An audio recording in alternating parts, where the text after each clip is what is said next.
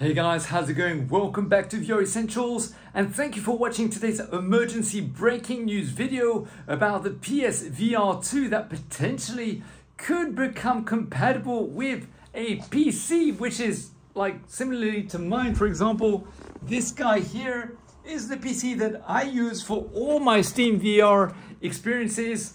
So would you rush to go out and buy a PlayStation PSVR 2 headset if you don't have a Sony PlayStation? You know, would you just rush and go and buy one? You know, do you really feel the FOMO effect?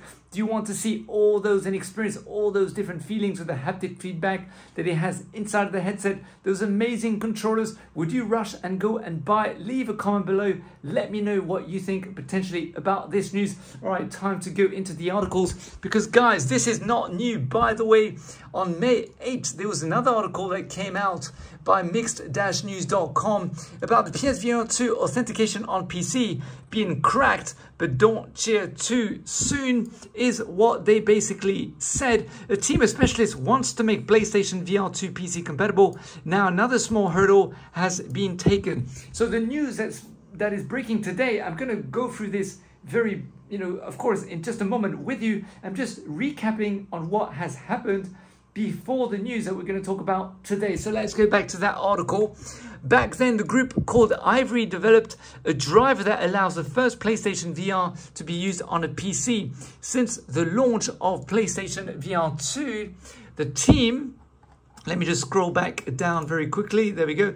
The team has been trying to do the same with Sony's new VR headset. Whether they will succeed is unclear. The group says that PlayStation VR 2 is a lot more complex and that the success of the project is far from uncertain. However, they were able to make the PlayStation VR 2 back then to trust a PC and you can basically see the photo here device device found excuse me vid underscore 054 CNPI PSVR2 authenticated. So that's basically what happened back in May.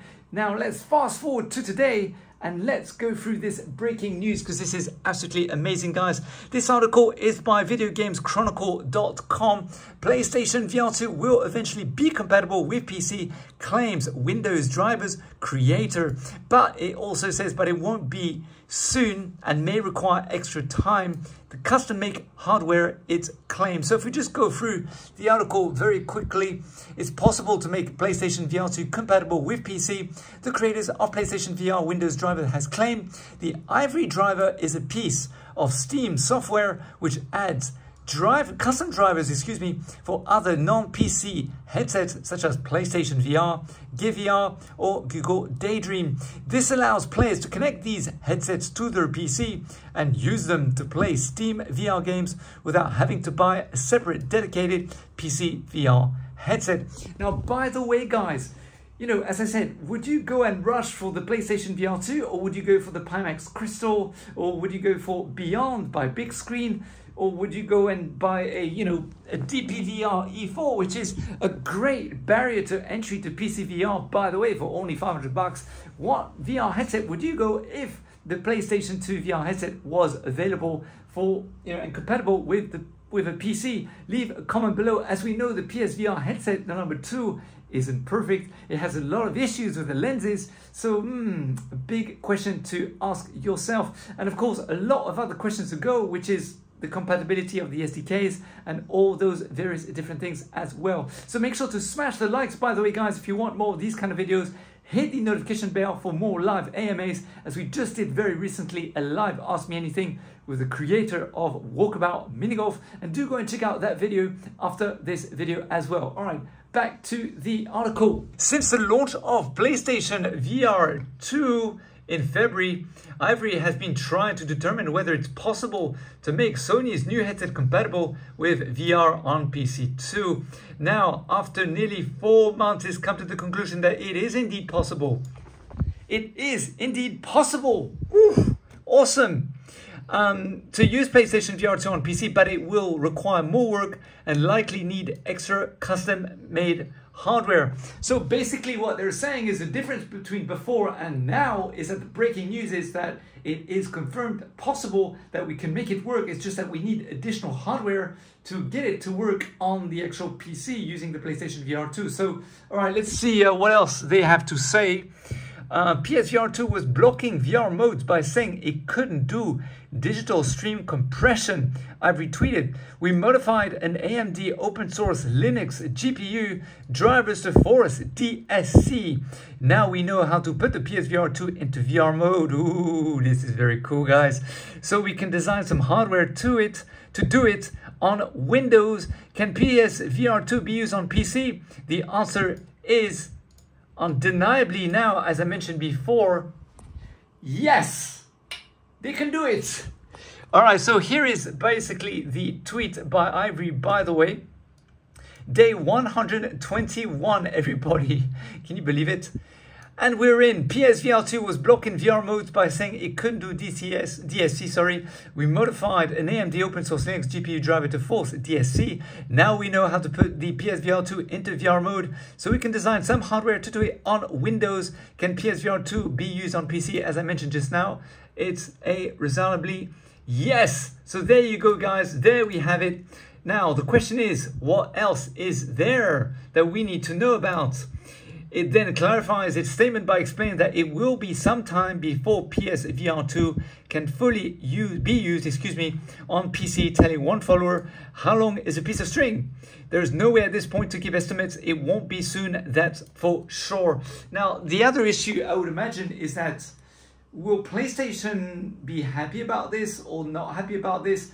You know, if it was to be released and we could use the PSVR 2 without buying the console, Will there be lawsuits happening? Because remember, all the VR mods who've been modifying all the various different VR games who do not have the rights to use those games and to modify and to then sell them for profit basically as they might charge a dollar or something to join their um, their discord or something like that or whatever you know, are there going to be any litigation liabilities here uh, for them to crack the code and to enable people like you and me who don't have a PlayStation um, nor are looking to purchase one but wish to have the PSVR 2 and use it with our PC? Is that also something that, you know, maybe is causing the delay as well or the fact that they're saying they don't know when? I don't know, leave a comment below. Let me know what you guys think about this specific as to why they can't give a date as to when they can make it work, since they clearly said they can make it work, right? So, all right, let's go back into the article and see what else we can find out from this. I told another, okay, so I told another we have so much work to do to get it, to get a basic three degrees of freedom driver working. Then we have six DOF, so six degrees of freedom enables you to jump, to walk, to do everything in real life, but inside of virtual reality versus three DOF, which is basically just like a media player. You can't actually move in the environment itself. Then we have controllers.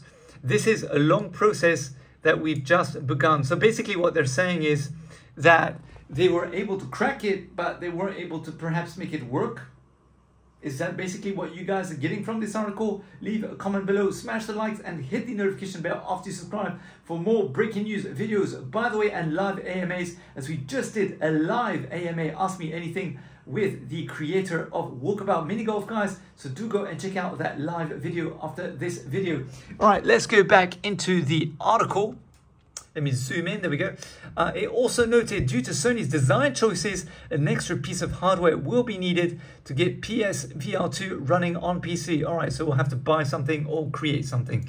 Everyone will need an adapter apart from some AMD users on Linux. It explained to another follower that adapter doesn't exist yet. We have to design and build one then hopefully some hardware company will pick it up and mass produce it. But I guess that also for those who have a uh, you know 3D printer, perhaps you'll be able to 3D print it.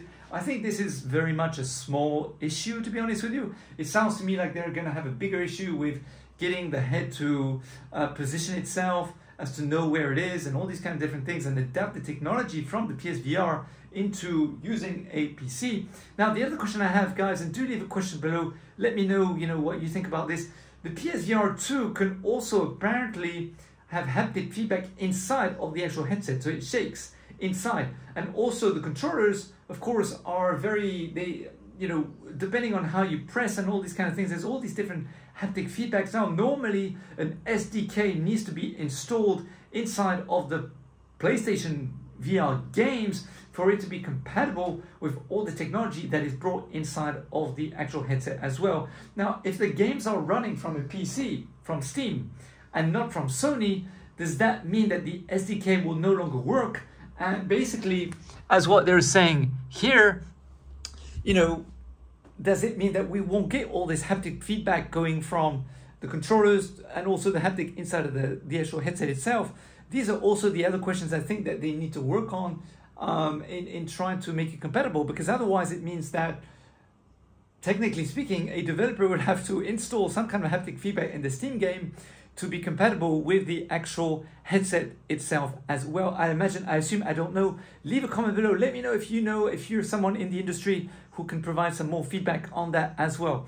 All right, guys, so that's the news that we have. Smash the likes. Let me know that these are the videos that you want to see more of when I do breaking emergency news about the VR industry. And also, as I mentioned before, hit the notification bell after you subscribe, as we'll be doing plenty more live AMAs and also live streams using testing different games using the, of course, the HP Reverb G2, the DPVR E4, and also the Pico 4, guys. So until then, I'll see you guys next time. Take it easy. Have a lovely evening and a super week ahead. Bye for now. Bye, guys.